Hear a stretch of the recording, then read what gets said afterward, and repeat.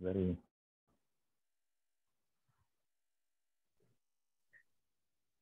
good. So I suppose that uh, no harm is done by uh, beginning uh, a couple of minutes early. So let me start by um, thanking the last speaker of the, the session, Professor Naoki Sasakura from the Yukawa Institute of Theoretical Physics, Kyoto University.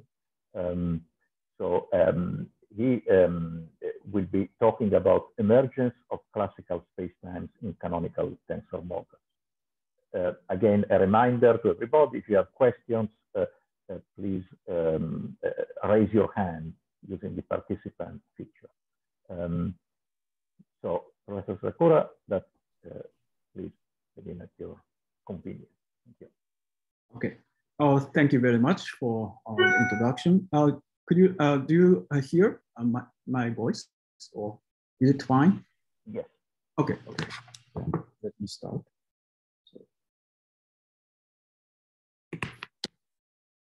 Uh, so um, uh, uh, first of all, I'd like to thank the organizers of this conference for this very nice opportunity. And um, today I'd like to talk about the emergence of classical spacetimes in canonical tensor model. So let me start with uh, my background motivation. Uh, and uh, as you all know, quantum gravity is one of the most fundamental problems in physics. And it is supposed to answer questions like how did the universe or spacetime get born? Or why does spacetime have the current form like one plus three dimensions or uniform, etc. Uh, there are a lot of approaches to quantum gravity, and uh, I'm mainly interested in the discrete approaches to quantum gravity. And um, in such a theory, um, space-time is supposed to be made of fundamental building blocks. But um, uh, it seems very difficult for such a theory to get a global uniform spacetime. And um, typically, um, such a theory will um, end up with um, uh, ugly object like this. But on the other hand, maybe uh, universe would be more uniform. So um, my strategy to um, try to um, solve this uh, mysterious question is that um, uh, to assume the, uh, um, the um, intermediate stage of emergence of the uh, group symmetry. And uh, here I'd like to stress the importance of the abundance of representations as well. Um, I'd like to explain the reason in a very simple example of uh, emergence of the two-dimensional sphere.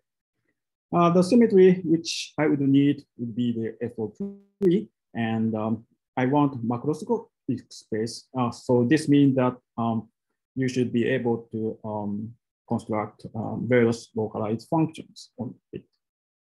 And for that purpose, you would need um, a lot of spherical harmonic functions. And um, as you know, these spherical harmonic functions are nothing but the uh, representations of SO3. So um, in this uh, simple example, you can uh, understand the importance of the uh, large number of representations of the group for the uh, emergence of the macroscopic space. And um, uh, here in this talk, I'd like to talk an example of this scenario. Uh, namely, I discuss uh, a wave function psi in a tensor model in canonical formalism, which we call canonical tensor model and CTM for short.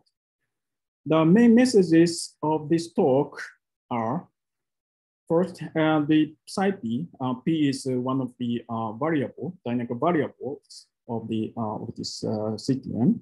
And the psi p, the wave function, has peaks at the group symmetric p. is actually a tensor. And but this result is a little bit old, and it goes back to three years ago. And uh, what is new in this talk is the uh, analysis of the uh, wave function in Q representation. Q here is a canonical conjugate variable of the, um, to the uh, to the p here. So this is just the Fourier transform of the uh, psi p. And um, in this um, uh, wave function, we can find a phase transition which um, uh, to the uh, fluctuation suppressed classical regime when um, this Q is taken to be the group symmetric and uh, the representation associated to it is you know, appropriate. So uh, in this regime, uh, in fact, you can find a Lie group symmetric classical non-fluctuating in space-time. So this is the main thing I want to talk in this uh, in this yeah talk in this talk. And um, uh, to, before proceeding further, uh, I'd like to um, um, explain this uh, in picture. So this wave function psi has peaks at the group symmetric um, locations. So what I mean by that is the following. Um, horizontal axis represents the um, configuration of P and uh, at some locations, the P is invariant under certain Lie groups. And uh, on that uh, locations, um, the uh, wave function has uh, peaks like that. On the other hand, in psi Q, um, you can find uh, two phases like that. one is um, uh, one we call um, quantum phase and the other classical phase. And uh, in that, uh, in the quantum um, phase, um, the um, fluctuations of the angle variables are um, large. And on the other hand, in the classical phase, um, this distribution split into two parts, and, and each of them has small distributions. So uh, the, uh, the reason why I call this uh, classical phase comes from this uh, smallness of the distributions. And um, um, this looks familiar to um, people in matrix models because um, uh, this kind of transition from one bunch to uh, the two, branch, two bunches of eigenvalues um, is often called um, Gross-Witten Wadia type transition. Now I'd like to um, uh, show you the contents of this talk. Um, first, I'd like to talk about this PSI-P, um, the um, wave function in P representation. And uh, uh, this is an uh, old result, but uh, uh, I'd like to introduce it for the consistency of the talk. And um, first, I'd like to talk about the origin, why I want to consider this particular wave function. And I will just, uh, show you the uh, relation between P and Lie groups in uh, concrete examples.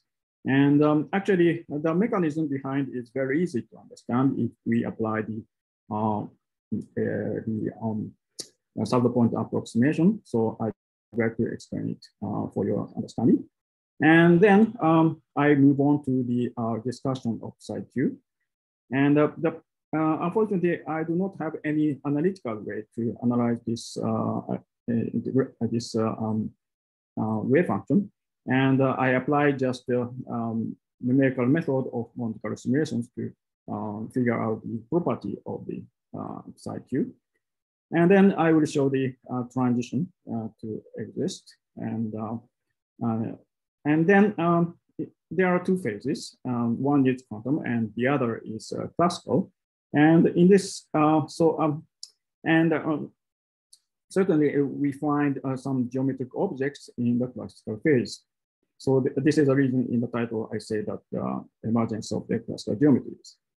And uh, uh, I discuss some properties of this uh, transition. And this is, my the contents. Uh, let me start with a discussion of the wave function in P representation. So the wave function has uh, this uh, particular form here, and uh, uh the um, this uh, this is given by certain um, integration form, and the the integrand is has has this exponential form, and the exponent is given by um, cubic function multiplied by the imaginary unit here. And the variables are the um, mm, are replica of certain uh, um, n vector and the phi tilde, which is just a variable. And uh, this number of the replica uh, has relation to the uh, uh, dimension n of this uh, vector variable. And the measure is just a flat one. And then the um, this this is just a, a, cubic function of phi and phi tilde. And this variable, the argument of the wave function um, um, comes into um, this cubic function by this uh, uh, contraction between p and phi's. And phi j square is uh, um, here is the shorthand notation for the um, self uh, the product. Uh, this is uh, not a totally new uh, I mean, um, system. Uh, I mean, the, there are some systems with similar structure. Uh, very the most similar um, model is uh, p-spin spherical model for spin glasses. And in this case, this Hamiltonian has this form here. And J here is random happening.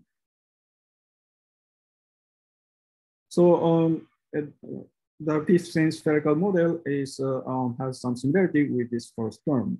But we have also this uh, latter term, which plays uh, important roles in our case. Um, there is another model which is uh, similar, uh, but uh, in the case of SYK model, which is very famous right now, recently, has, um, in the case of this model, the dynamical variables are fermions rather than boson, bosons in our case. Um, because, oh, sorry, because in our case, this uh, exponent is uh, um, uh, cubic function, um, this may be regarded as a certain um, multivariable extension of the Airy function. Uh, the reason why I want to consider this particular uh, wave function is that this is actually a solution to Wheeler-DeWitt equation for tensor model. So the order equation is given by the um, the constraint equation for uh, for the um, from the Hamiltonian constraint of the CTM. And here Q hat and P hat are the uh, conjugate variables of the uh, CTM. Here, uh, an important thing is that this, uh, um, this number here is determined uh, by the hermiticity of this Hamiltonian constraint. And uh, because of this form, um, uh, the electrical number here uh, is also in the wave function is also determined determined like that. So you cannot change the electrical number here in the wave function. Um, um, uh, wave function, so you have to keep this number in the wave function. And um, for um, um, explanation, I'd like to um, briefly mention what is CTM, and uh, it's a it's a ADM-like tensor model. So the Hamiltonian Hamiltonian is given by a linear combination of uh, first class constraints, and uh, which um, yeah they they actually make formal closed nonlinear computational algebra. And because of the uh, uh, similarity to the ADM, ADM formalism, uh, there are some connections to general relativity uh, between classical CTM and general relativity. And uh, in the classical uh, n equal one case of CTM, it agrees with the mini superspace approximation of general relativity. And um, or also one can show that um, classical equation of P agrees with the Hamilton-Jacobi equation from GR in a certain um, formal continuum limit. Now let me show you uh, how um, the emergence of Lie group symmetries appear. And um, psi p has peaks at Lie group symmetry p, like that. So what I mean is that, uh, so uh, there are um, so the horizontal axis, uh, let me assume that horizontal axis uh, represent the values of the tensor P. And certain locations are invariant under um, Lie group, uh, like that. And R D represent the Lie groups and R represent its representations on P. And the, actually, uh, one can find explicitly that the wave function has peaks at such Lie group symmetric locations. Uh, the examples are uh, can be obtained by explicit numerical integration of the wave function. And in this example, um, the there exists um, SO6 invariant peak as well as um, SO3 invariant ridges. And in this example, one can also find um, um, not only the uh, Euclidean one, but also Lorentzian type uh, symmetries. Uh, actually, uh, uh, the mechanism of the emergence of the symmetries is very easy to understand uh, by applying the saddle point approximation. Uh, so let me start, uh, let me um, write down the wave function in a general way. So the wave function is given by certain integrations and here the integrand is given by an exponential form and um, the exponent is given by um, um, a function of p and z. Uh, p is uh, um, the um, argument of the wave function, and z is the integration variables. And then uh, it, it is multiplied by imaginary unit. So let me uh, uh, apply the saddle point approximation. Then the wave function is given by a sum over um, the uh, sum over the um, saddle points. And uh, because um, in general, uh, the phase factor uh, um, is not coherent, are not coherent with each other. So therefore, um, the the summation cancel cancel easily. And so the, in general, this wave function does not take large values. But uh, on the other hand, suppose uh, P is tuned so that this uh, exponent is invariant under the group transformation of the integration variables. Then the saddle points exist on a group orbit, uh, namely um, there exist a continuously infinite number of saddle points like that. So there is an abundance of points. And also uh, what is uh, good for this case is that the exponent takes constant value along this orbit, uh, sorry, group orbit. Therefore, uh, the um, the saddle approximation is um, integration of, of uh, coherent contributions. So therefore, this wave function may take a large value. So this is the uh, mechanism, and uh, one can easily uh, expect that the, this phenomenon occurs in a very wide systems. Uh, in our case, uh, the what we have to uh, do is to tune P so that um, this is invariant under the group Z. Then this um, exponent is invariant under group transformation of phi. So this satisfies this this invariant condition, and therefore you can expect the, the appearance of a peak of the wave function. Uh, one can or actually, uh, uh, sorry, let me show you the direction. Oh, sorry, let me go back.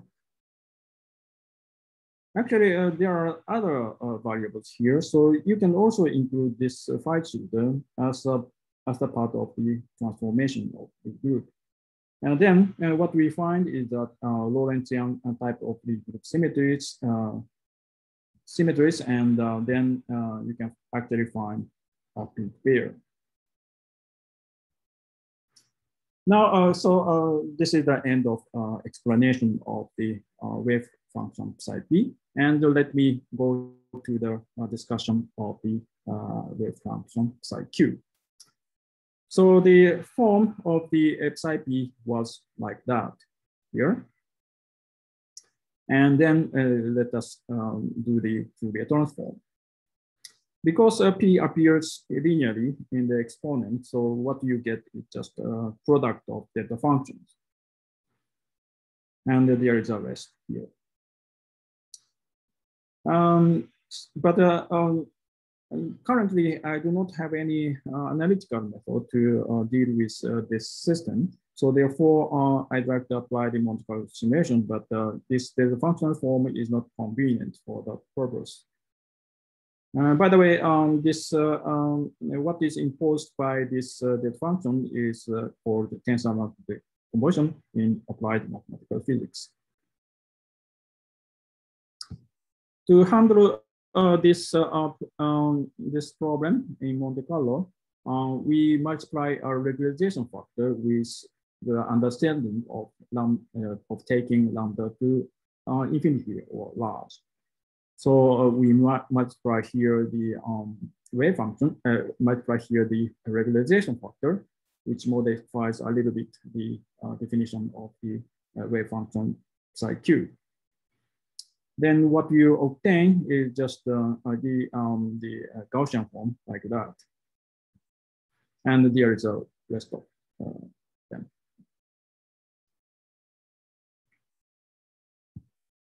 So uh, what we do this computation is apply the Hamiltonian Monte Carlo method. Um, but uh, uh, as you might know, the um, because of this um, rest term, um, the integrand is uh, um, complex numbers. So therefore, um, um, you cannot, uh, I mean, apply the usual multiple simulation for that. namely, it contains the notorious sign problem. So what I do is the uh, what is very well known as reweighting method. Uh, this is uh, um, not uh, efficient uh, so much, but uh, um, as a first trial, it will be a good method because um, the method is very simple and naive. Um, so uh, let me explain the method. Um, so the the, um, the idea is very simple. Um, looking at the integration. So in our case, we have the real part and oscillating part as I explained, the, um, we have this real part and the oscillating part. And um, looking at this uh, form, you can easily recognize that this is nothing but the uh, computation of the expectation value uh, for the, in the system defined by this real part. So what we have to do is Monte Carlo with this real part and then and compute um, this oscillating part as expectation value like that. And in our case, uh, what we have to do is the following here. So we have the real part here uh, defined by this form. And uh, what we have to compute is this uh, um, oscillating part as expectation value. And then um, uh, what you recognize quickly is that this uh, integration over phi tilde is nothing but the definition of the Airy function. So the, what we have to do is uh, um, computation of the product of Airy functions uh, in this uh, system defined by this uh, real uh, part. Um, a, a, detail of the function is uh, here, which is taken to the asymptotically wave line. And I think it's um, now uh, I uh, explained the setup and uh, what we have to do is the compute this expectation value for the system itself um, by Monte Carlo by putting um, the values of Q. Um, of course, I want to um, do this uh, computation for every value of uh, Q, but um, of course it's a Monte Carlo and uh, it's not possible to do this so therefore, I just choose certain values of Q and then um, this um, look at the um, perturbation uh, from it. So the um, Q naught uh, here, the center of the value is taken to be invariant under uh, some groups. Here I have to specify some Lie groups. So um, just I just consider the case of SO2 and SO3. And um, the uh, I also consider I review the deformation of the um, values of Q. Um, this uh, uh, gauge groups are really uh, simple, but um, still we can expect uh, um, the emergence of um, some manifolds. And uh, in this in this case, we would expect Sn, S2n, n-dimensional spheres to appear. So more precisely, I'd like to discuss, uh, I, I want to show you the construction of the, um, the center uh, invariant uh, tensor.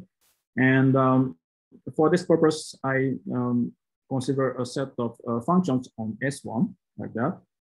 This is the momentum zero function, momentum one, uh, momentum one, momentum blah, blah, blah, and momentum lambda. Lambda is a sort of couple of, of the momentum.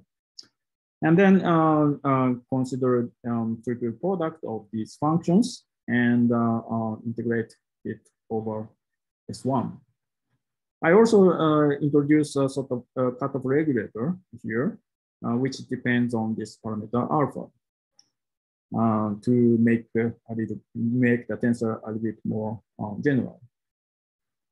And in the SO3 case, um, this is also the same. And uh, I, what I prepare is a set of uh, spherical harmonics starting from spin zero to spin lambda.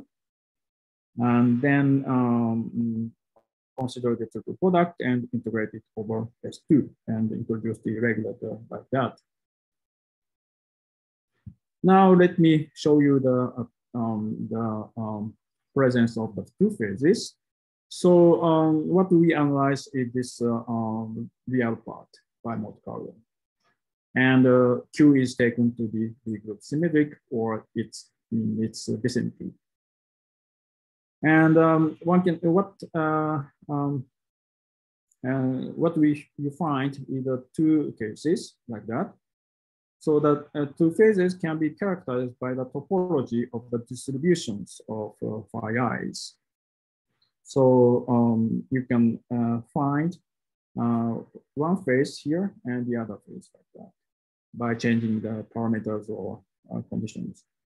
And um, I'd like to call one phase uh, quantum phase um, because the fluctuations are um, broad.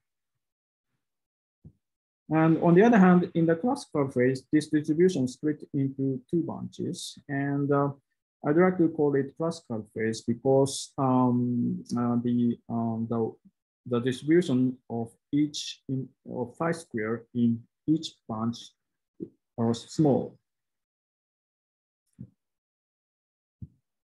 So uh, as I uh, uh, suggested that this transition may be regarded as a tensor version of similar transition in the context of matrix model, but with a little change. I will explain this uh, change here. Um, the transition in the matrix model is uh, that um, uh, one can do two cut solutions and also often called cross-weighting the transition. So the so the, let me explain the but still there are there is a difference, and uh, let me explain this. In the matrix model case, uh, the what is called tensor decomposition is given by this one. And here, EJ served for the uh, eigenvalues of the matrix M. In the matrix model case, uh, what is distributing is the, um, uh, uh, the matrix M itself. So you can, and um, uh, if M is uh, given, then eigenvalue is determined uniquely. So because of that, uh, we have the um, distribution of the matrix. So eigenvalues distribute. We have the eigenvalue distributions. But in the case of the tensor case, uh, it's a little bit different.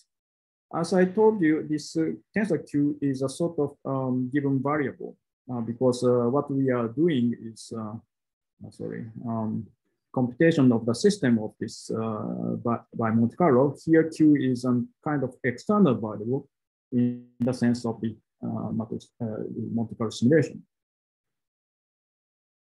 So Q is given, but uh, actually uh, this tensor rank decomposition part is, um, is uh, has ambiguities, and therefore uh, what you obtain is the distribution of the phi square. So this is the uh, so what is uh, uh, distributing is uh, rather the tensor decomposition uh, um, rather than this uh, um, tensor Q. This is the difference, but the, from surface it looks very similar. the, the transitions looks very similar to the matrix counterpart. So now um, uh, let me um, show you the uh, actual Monte Carlo result for the transition. And uh, Q is uh, um, taken to be SO2 one, and uh, I set some parameters. And uh, the filtration looks continuous under the change of lambda. This is not confirmed yet, but uh, it looks like that. Uh, now I want to uh, change the parameter lambda uh, gradually from small value to large lambda. And at some point, um, the bunch separates into two pieces like that. Uh, for later uh, convenience, I'd like to call uh, this bunch central center bunch and this one outer bunch. Because in the center bunch, the distance from the origin is small. And on the other hand, this is uh, a little bit uh, away from the center. So I call it, uh, I named them like that. So now uh, what I want to um, discuss here is the top, uh, the, um, the geometry, which may be defined by this outer, the points out in the outer bunch. I mean, the, um, this each phi i, what i equal one to r, the electric number, are any dimensional vectors. Right? You have, uh, I have this uh, uh, lower index which runs from one to n. So um, this uh, each phi i defines uh, the, um, the any dimension vector, so you can uh, associate points, r points in this uh, any dimensional space. Actually, n is very large generally, um, like 20 and 100 and so on. So uh, it's uh, these points exist very very scarce. yeah. And so um, so now the uh, they are the uh, the points are separated in two uh, uh classes. One is uh, uh, the center. one is included in the center bunch, and the other is included in the outer bunch. So I want to discuss the geometric character of these points in the outer bunch.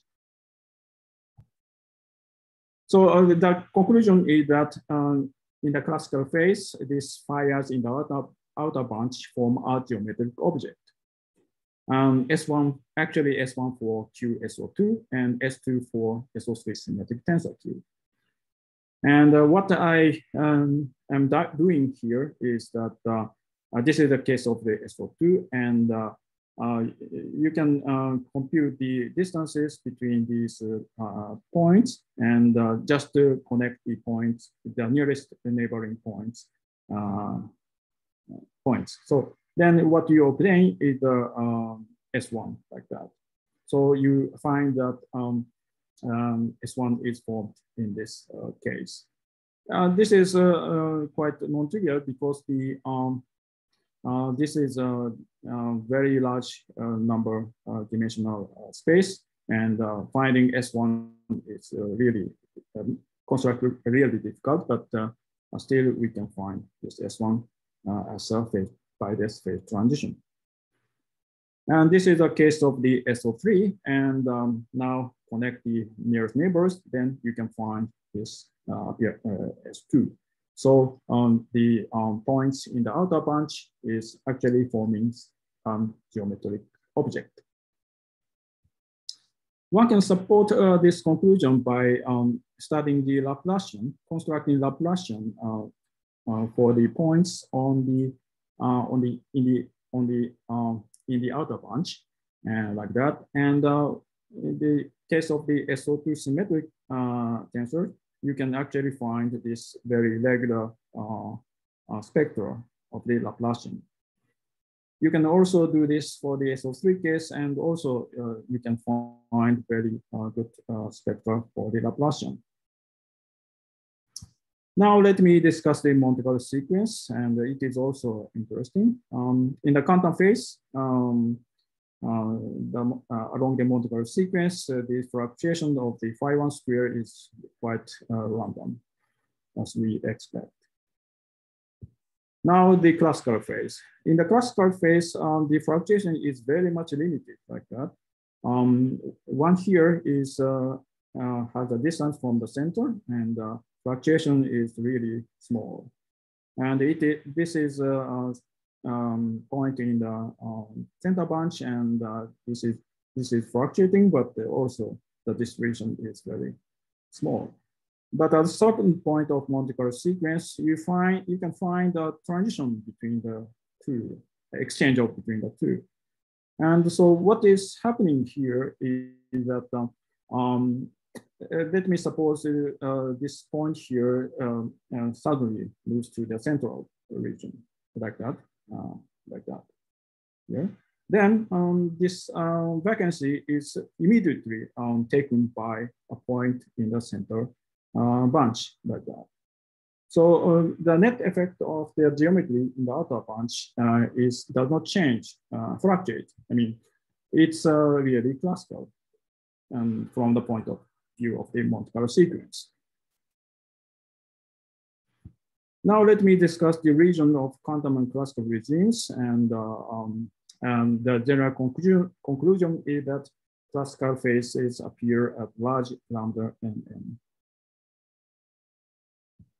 Now let me uh, discuss the analysis of the oscillator part of psi q. Well, so far we have discussed only this part, of the Monte Carlo simulation. Now I want to compute uh, this expectation value part. And um, uh, to do this, it's more convenient to scale, um, to um, split the scale of the tensor Q. So um, I do this uh, separation, and this is the size, and this is the angular part. And then uh, what you have to do is this computation. And uh, what is different? Uh, in, uh, what is different here is that the um, lambda parameter here was rescaled by um, q. So the um, this uh, parameter lambda is now dependent on the size of the tensor q. But for the purpose of the Monte Carlo simulation, lambda uh, uh, um, is taken to be um, a constant uh, for the convenience, and later I will introduce get it back this dependence. Anyway, um, let me discuss the general property of this expectation value. So what we can expect. So in quantum phase, um, this phi square fluctuates largely. So therefore, and um, you know that uh, I have shown the picture before, um, and the L function is uh, quite much oscillating. Therefore, um, in quantum phase, uh, this, there, um, in this computation of the expectation value, um, there are um, quite a large number of cancellations. And therefore, uh, this uh, expected expectation value takes small values in general. And this uh, cancellation becomes um, more and more serious uh, uh, by making uh, this size of Q larger uh, because, uh, yeah, this appears in this here like that. And on the other hand, in the classical phase, this um, um, fluctuation of phi square is really suppressed. Therefore, um, the expected value remains uh, substantial even after uh, this uh, side of Q uh, takes uh, large and becomes larger.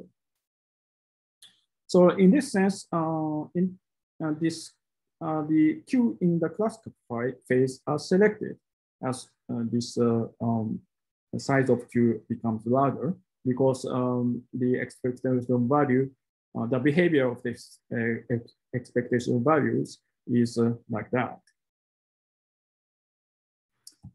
Uh, one can uh, actually check this um, um, expected aspect um, in Monte Carlo simulations. Uh, this is the plot of the um, result. And uh, as you can see the, from the uh, histogram that the, the alpha equals 0.2 case here correspond to the um, classical phase, but not the others. And and um, you, can see that the uh, this is a uh, contour plot for the uh, uh, wave function fa phase, and um, you can see very regular uh, uh, regular um, property. But when um, but the, on the other hand, in the outer side, um, here the um, this phase is expected to be quantum. you see many disturbances. And also the amplitude is also uh, showing um, expected uh, property uh, that the for alpha 0.2, the psi, the um, amplitude remains large, but uh, in the quantum phase, it um, goes on very quickly. Um, this is uh, Laplacian, and uh, yeah, alpha 0 0.2 uh, correspond to S1 of large size. This is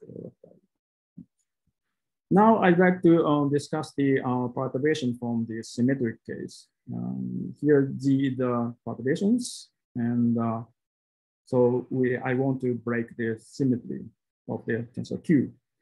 And what we find again is uh, the um, importance of the invariance. And uh, uh, so you see here, um, uh, for z equals zero, uh, the, uh, um, this wave function is very um, clean.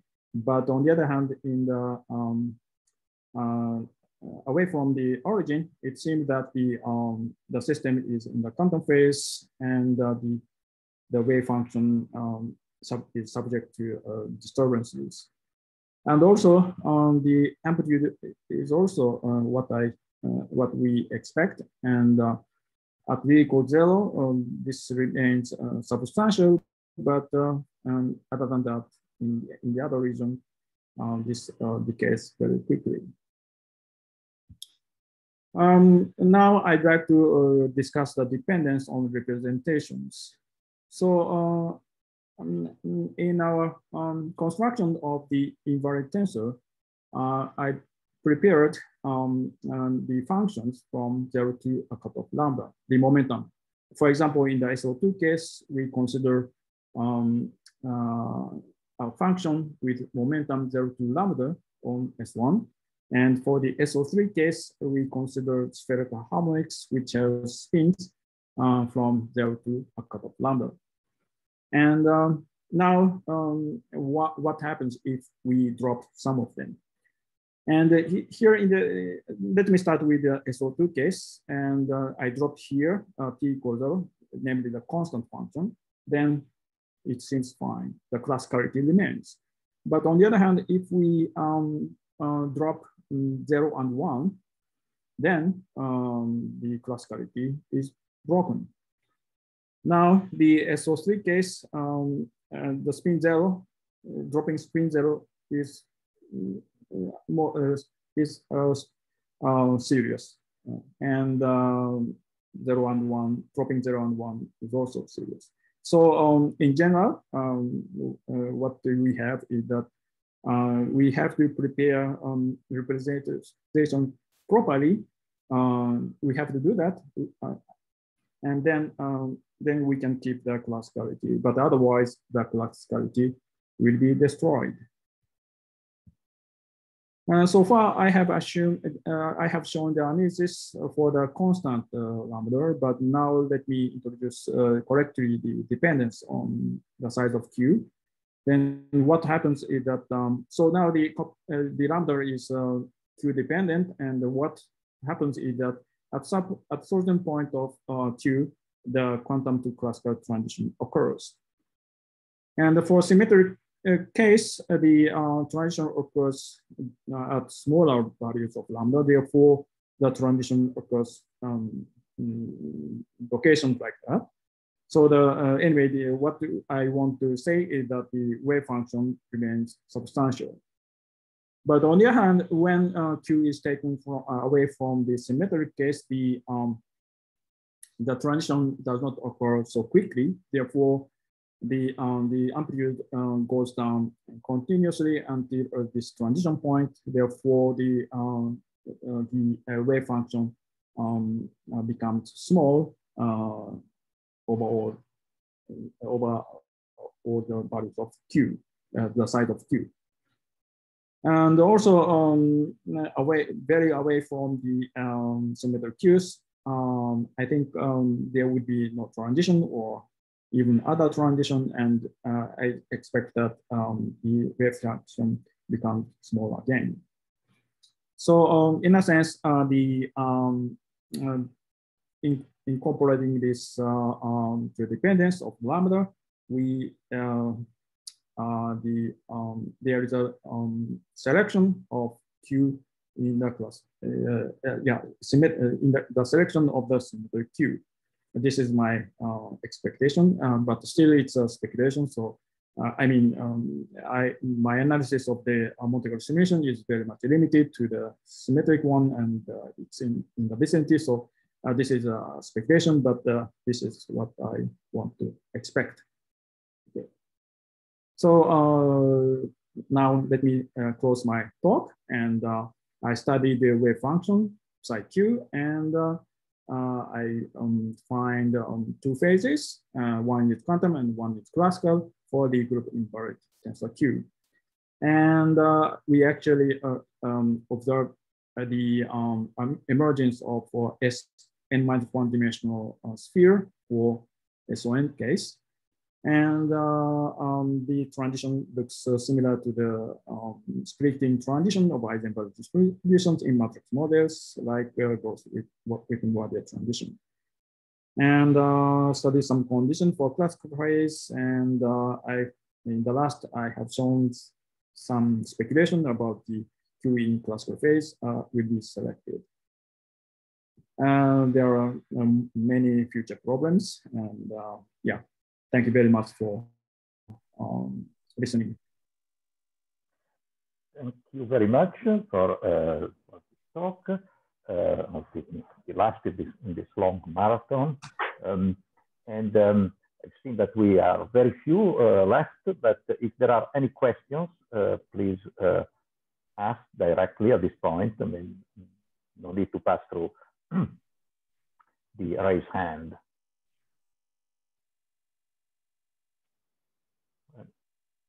I actually, I have one question and uh, the wave function that you selected is one of the solutions of the uh, Wheeler-DeWitt equation for your model, but there are other, right? The solution is not unique. So what selects it among the possible orders? I mean, you could have linear combination of exponentials with different signs, right?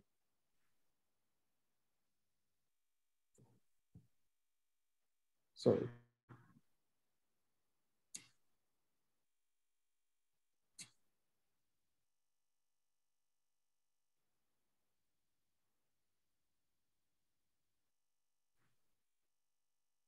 Um, yeah, this is a, a, good question. And uh, uh, actually, um, we are not sure uh, how uh, how much uh, this uh, equation have solutions. And um, what we have right now is the um, sorry, where is it? Is uh, just this solution and uh, uh, for general and um, n case.